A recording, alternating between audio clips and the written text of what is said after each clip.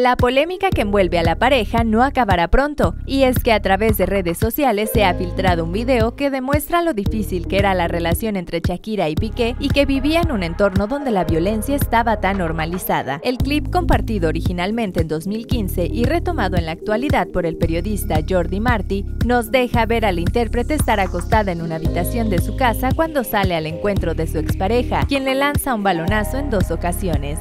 La primera impacta en la puerta y la segunda termina dándole en el pecho. A ver si le puedo dar directamente en el pecho, menciona el defensa estrella del Fútbol Club Barcelona, quien no puede evitar reír al ver que Shakira gritó asustada al ser golpeada por el balón. La publicación original incluía un texto que decía: Esto es vivir con un futbolista.